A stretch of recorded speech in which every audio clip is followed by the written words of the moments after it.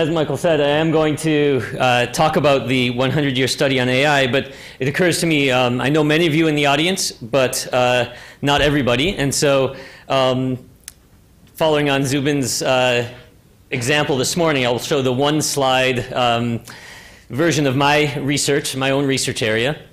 The, the question that I, that I ask in all of my research is to what degree can autonomous intelligent agents learn in the presence of teammates and or adversaries in real-time dynamic domains.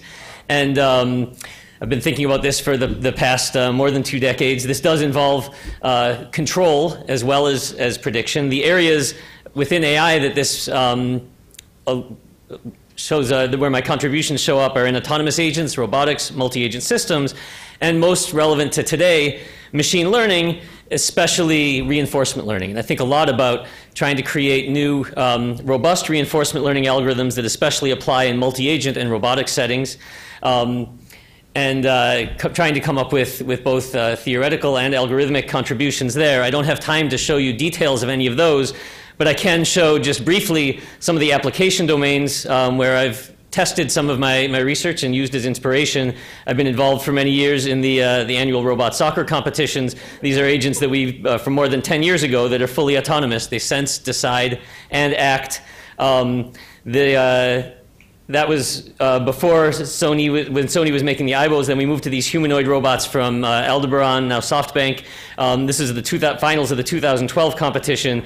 Our robots are the ones with their the hands behind their back. Um, we ended up winning this competition, and when we got back to the University of Texas, they lit the tower orange for us, which is the highest form of respect in, in Austin. They do it usually when somebody wins a Nobel Prize or the football team wins one game. Um, but uh, this was, uh, I guess I'll let, let this run for a second just to, to let you um, see the, uh, the, the robot. And again, these are, these are fully autonomous. Um, and here we, we have competitions every year. This is uh, the robot calmly banking the ball off of the, the goalpost. Um, so this is uh, part of the, the RoboCup competitions that we've had the long-term goal of by the year 2050 to create a team of, of um, uh, humanoid robots that can beat the World Cup champion on a real soccer field.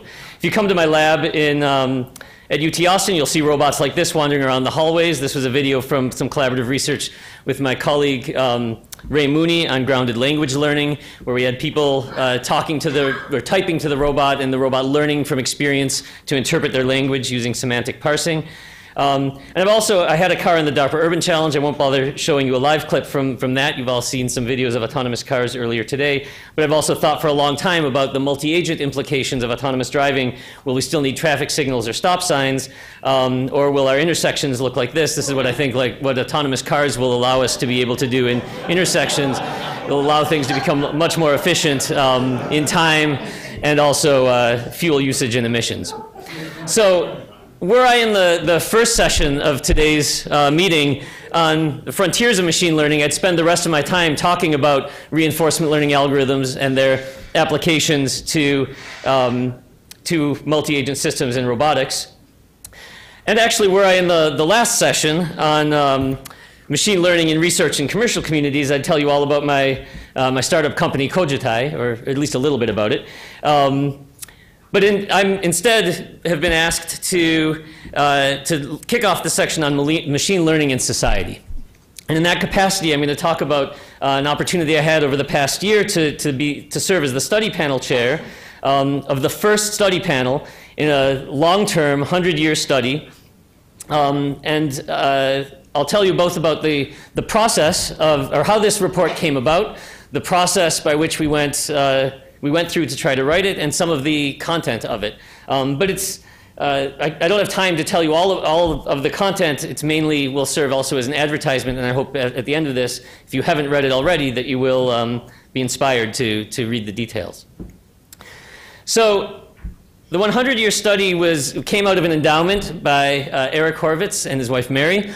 Um, and the framing document, it was, it was founded, oops, founded in 2014 and uh, with the goal of supporting a longitudinal study of uh, influences of artificial intelligence advances on people and society, centering on periodic studies of developments, trends, futures, and potential disruptions associated with machine intelligence. And also, key, in a key way, trying to come up with proactive efforts, try, uh, trying to figure out what recommendations and guidance can be made to try to um, sort of maximize the chance that AI technologies could be used for, for, for good, for positive outcomes, before, it was, before it's too late. And uh, the roots of this were a the AAAI presidential panel on the long-term um, AI futures that happened in Asilomar in 2008-09. Just so happens there was another meeting in Asilomar just a, a week ago. Um, this is, uh, but this one, I know there were at least two people in the audience today who were at this uh, at this meeting in this picture. I was a part of the meeting as well. Unfortunately, I wasn't physically there. Um, I was, but I, I, had called in, and there was sort of a small small group of us who uh, explored the potential long-term societal influence of, of, AI advances. And this was when Eric uh, Horvitz was the president of, of AAAI. And that's sort of when the thinking behind this, uh, the AI 100 study got started, I believe.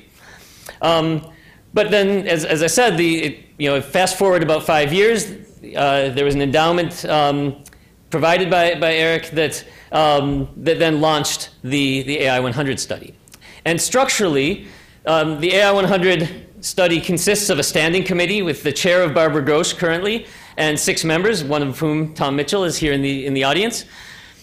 And, um, and the standing committee, their first, uh, you know, they decided on the, the structure of how this, how this uh, 100 years would play out and decided that there would be periodic study panels.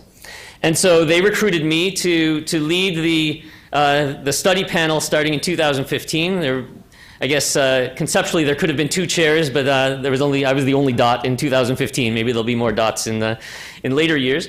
But they recruited me, and then I worked with them to recruit a study panel. And then we were given um, the, a charge by the standing committee to come up with um, with an artifact. I mean, actually, there was a lot of freedom. I'll go into to that. It wasn't necessarily going to be a report. Um, but the study panel uh, convened. We spent a year coming up with our um, with this this artifact and then disbanded. The standing committee though stay, stays on, um, and they'll presumably uh, recruit uh, another study panel chair. It won't be me for sure. Um, I've done, this was a lot uh, a, a, lot of work, but uh, um, well worth it, I believe. Um, but there'll, there'll be another study panel, and the plan is for this to happen every, every five years um, till at least 2115. I understand there's actually, uh, the endowment is such that it can continue well beyond uh, 100 years as well, but you know, 100 years is a nice round number. So it's the 100-year study um, on AI. It was, uh, there was some debate at the outset of where this should be, should be archived or hosted. Should it be um, you know, at a professional organization? Um, should it be at a university? I think that the, uh, from what I understand, the, the process um, hit on a, uh, ended up going to be um, deciding on a university because there's, uh, you know, professional organizations tend to come and go. Universities, at least uh, it seems, have, have, much more longevity and stability. And so it was decided that it would be housed at uh, Stanford and that be part of the Stanford uh, Digital Ar Archive. And the, the intended audiences are, are multiple. There's, it's the Outcomes of the reports were, design, were supposed to be for AI researchers, the general public, industry, and policymakers. So we had to come up with something that would speak to all of these, all of these groups. And the charge we were given, so the standing, uh, the standing committee came up with a charge to deliver to me and the, the study panel, which was as follows. It was to identify the possible advances in AI over the next 15 years and their potential influences on daily life, to specify the scientific, engineering, and legal efforts needed to realize these developments and consider the actions needed to shape outcomes for societal good, deliberating on design, ethical, and policy challenges, with a focus being on large urban regions, typical, a typical North American city. Now, I don't, uh, it was emphasized, or I would like to emphasize, it wasn't meant to be restricted to North American cities. Um, could apply to really first world cities around the, um, around the world but the idea was, was that uh, you know, there was some focusing um, as opposed to on, uh, you know, there'd be a different set of questions that might arise in, in third world, uh, in third world cities. Um, and the, the point of, of focusing on an urban center or on cities was that it brings together many different aspects of AI, many different applications. Um, it's sort of a focusing device. And also serve to scope out the many thorny um, questions that come up if you, if you, keep, uh, if you scope in military um, uh, aspects of artificial intelligence, which may be the topic of a future study panel. But for this one, it was about uh, the effects of AI in a typical North American city. And, you know, so this was, I took this as sort of, uh, you know, at first when I was invited, um, I definitely did not jump at this opportunity uh, quickly. Um, this was a, you know, a, it seemed very exciting, but also seemed very daunting in many ways. It was both an opportunity um, and a challenge. And, you know, the, in some ways, the, the things that, that, uh, that the aspects or the, the challenge that was given to me was um, energizing, but also um, I didn't know where to go at first. There was sort of a carte blanche given with respect to format. Is it going to be a document? Is it going to be a set of websites? Is it going to be um, other kind, other forms of multimedia? Um, there was even flexibility on topic. There was a charge, but it was still it was very it was very broad, and I was invited to to help shape what that uh, what the topic would be. Um, I was asked to come up with something that would be topical now at a time of great interest in AI, where there was um, a lot of progress in industry. There were uh, simultaneously, we knew that there were some uh, studies going on out of the White House. Ed Felten, who's here, was was uh, chairing those. There's also a lot of, of ink being spilled about artificial intelligence, and there, there continues to be, and also fear mongering, as, as, um, uh, as Rao was saying over lunch. The, uh, you know, earlier today, someone said, uh, or um, yeah, it was, it was uh, said you don't really need to know about a derivative to, uh, to do deep learning. And as Rao pointed out at lunch, you don't have to have any background in AI to, to render an opinion about what the impact of AI will be and, uh, and how it might destroy the world. And, um, and so, you know, we, we had to come up with something that was, would be a report from the more, you know, um, let's say, uh, insider view. Something that would give a balance, but, but not, uh, not one that would be overwhelmingly positive or only you know, biased in a positive way either. That would be a balanced view taking into account the, possib- uh, the realistic possibilities, barriers, and risks of artificial intelligence. So this was you know, no, small, um, no small challenge. There were other studies going on at the time, including the White House studies, and there's been many other reports coming out. One of the things that made this most appealing and exciting and challenging um, was the longitudinal aspect. So as well as being topical now, it also had to be relevant over time. The first of a series of five-year studies that um, would both set a precedent for future studies. There hadn't been any previous ones. Presumably, it'll set a pattern. Although you know, future study panel chairs will be able to, to um, you know, also have license to change things. Um, presumably, it's going to look back, be looked back upon every every five years as this 100-year study proceeds. And so, uh, you know, after, but after much uh, much thought, I decided to to take it on and. Um, and the first task then was to invite panelists. Um, and this itself was, was a challenging task. What, you know, who should be involved in this study? As, as we've talked about on the previous panel, the people involved will bring their own biases and experience to this, um, to this effort.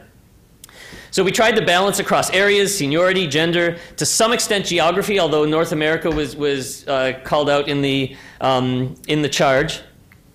And so we ended up with the following, uh, with the following great set of people. And it was a real honor to work with everybody here. Um, many academics with expertise in core artificial intelligence, um, but also some people with expertise in areas such as law, Ryan Calo, um, some people from industry like uh, Rodney Brooks, Astro Teller, um, people thinking more about the social uh, aspects of, of AI, um, Anu Saxenian, and, and, so forth. So it was, uh, you know, we th- I think we came up with a, with a great uh, group of people, and then we, we moved forwards. Um, and uh, sort of one of my roles here was to shape the process, and I put a lot of thought into how to do this. I've, given the, the time constraints, I'm not going to go into all the detail of how we ended up um, generating what we did. But one of the first questions was, you know, given this charge of do something relevant now and that will stand the test of time, what should it be? Should it be a report, web pages, YouTube videos, multimedia? Actually, the early sentiment of all the panelists was the, a report is going to be one of the least impactful things we could do. So you know, people said, you know, who's going to read another 50-page, 100-page report? Let's do something else. And so we thought about all the other something else's we could do. Um, And in the end, we said, okay, well, at least, at least, let's start with the report. We know how to do that. Let's do the report, and then that can you know, be the jumping off point for everything else. Um, I'll come back to that in a second. But uh, you know, then there was also what topics should we, we talk about? And you know, that was there, there was a wide open set of possible topics when you're talking about AI in a typical North American city.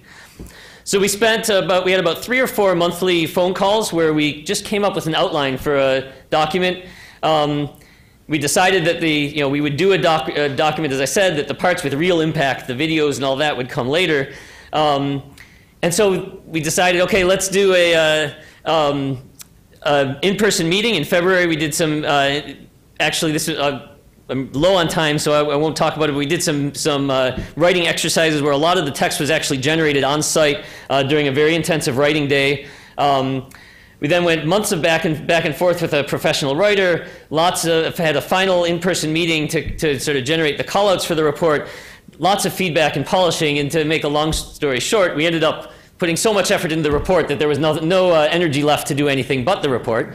Um, but we, we did uh, put a lot of effort into really making it a polished document and ended up with something that I think we're all very, very proud of. Um, the structure is that there's a, and it's available online, it was released in September. There's a preface for context and then uh, an executive summary. This is the whole uh, executive, well, here's the executive summary, so a page and a little bit. So you don't have an excuse if I don't have time to read your report. If you have a minute, you can read the executive uh, summary. There's then a sort of the next level of our three-layer hierarchy. There's, a, there's an overview, uh, which is five pages. So there you just saw that. So if you have five minutes or so, you can get a good overview of the document. And then there's the rest of it. So, um, and, but all through it, we do have these callouts in the, in the margins. Um, it's all, and actually all told, it's only about 50 pages. Um, it's actually, you know, we made a lot of effort to make this quite accessible to, to everybody. It's got an introduction defining artificial intelligence with our definition of it, um, and current research trends, um, including deep learning, of course, but many others. It then, the real core of the report is going into eight areas with likely urban impact by the year 2030, where in each of them we looked back 15 years, what's changed in those areas over the past 15 years, and then what do we project will happen in the next 15 years, and tried to identify the opportunities, barriers, and realistic risks in each of them. Um, and then we also had some policy and legal issues, uh, the current status, and also recommendations for the future. So the eight areas of focus that we did um, zero in on are listed here. I'll talk just briefly about, uh, about three of them.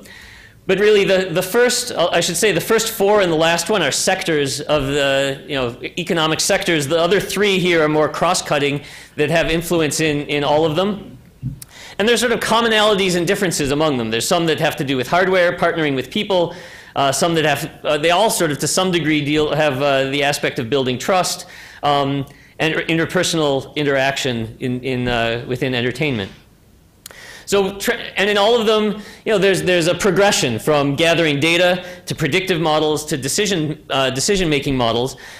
Transportation is one that there's already been a lot of, of talk about today. That's sort of the least controversial that there's going to be a change to the transportation infrastructure by the year 2030, certainly probably much before then.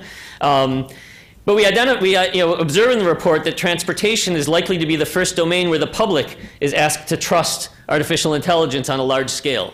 And you know, what, what that means for, for us as a community moving forwards, it's both, a, you know, again, an opportunity and a challenge. Um, there's been talk today already about some of the problems and challenges that, uh, that come up, so I'm, not, I'm going to skip sort of through, through this. Um, more in the medium term, we did, there is a big section in the report on public safety and, and security.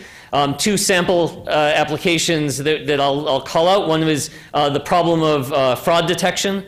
How do we tell which transactions are fraudulent um, on credit cards? And uh, you know, there's data about this. There's records of fraudulent and legitimate transactions. There can be predictive models that identify uh, features of fraudulent transactions, and you can move uh, towards decision-making mod, um, uh, models that would actually aut autonomously terminate um, fraudulent transactions of, of, certain kinds.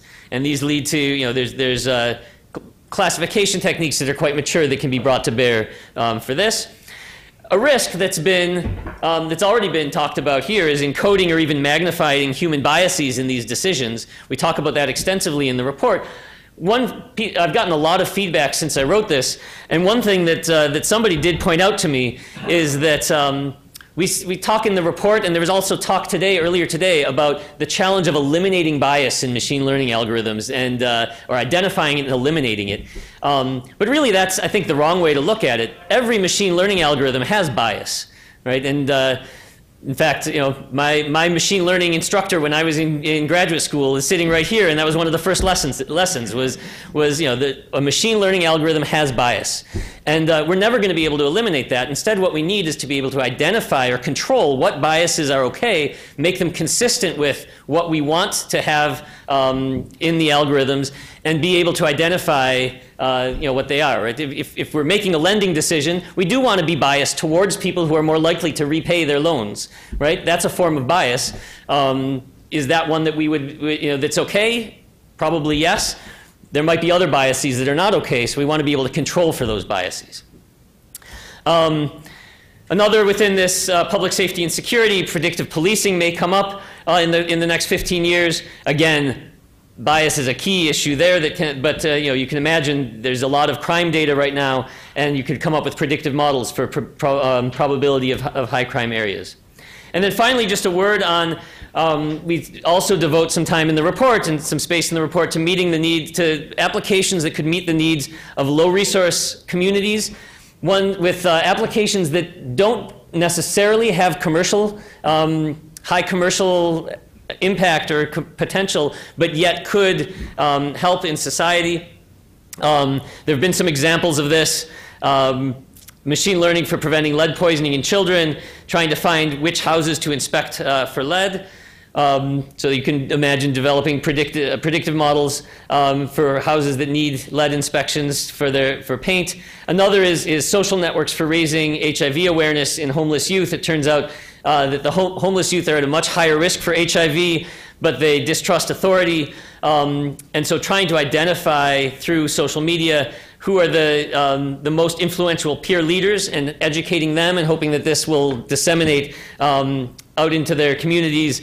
Uh, there's already been a decision aid piloted in Los Angeles um, that has led to the, showing some increase in, in HIV testing. So um, that's just a small sample of the, of the you know, some of the issues within these three topics. And of course, I haven't even touched on some of these other topics. Again, I w- I don't have time in this talk to go into the full details. Um, but there are, like I said, many summarizing callouts in the report. I'll just highlight uh, a few of my favorites. Um, that, uh, the ones in green here. So misunderstandings about what AI is and is not could fuel opposition to technologies with the potential to benefit everyone. Poorly, poorly informed regulation that stifles innovation would be a tragic mistake. So we talk about sort of what are the, the ways to go about um, regulation. Um, and uh, I think very, uh, very topical today. Society is now at a crucial juncture in determining how to deploy AI-based technologies in ways that promote rather than hinder democratic values such as freedom, equality, and transparency. Um, and so these are all, this is sort of hints at some of the topics that we go into in the report. Maybe I'll find one more that I highlighted uh, before closing. Autonomous transportation will soon be commonplace, and as most people's first experience with physically embodied AI systems will strongly influence the public's perception of AI. I foreshadowed that earlier. There's one other actually that I would like to, um, uh, that's a health related one. Um, that's an education related one. Um, let me see if I can if I have it here quickly. Um,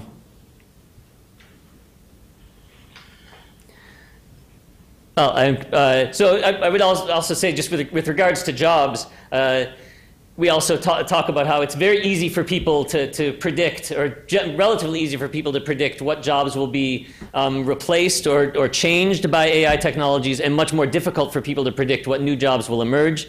And, uh, and so this is one of the points we make also in the, in the, um, the employment and workplace section. So I encourage uh, everybody, if you go to this website, you can find the report. If you do read it and find it interesting or useful or even objectionable in any way, uh, please let me know. And uh, you know, I'm, I'm um, very happy to receive uh, feedback pass it back to the standing committee that may influence what goes into next uh, the, the report in, in five years from now. Um, and with that, I'd like to, uh, to thank you again for inviting me and be happy to take any questions.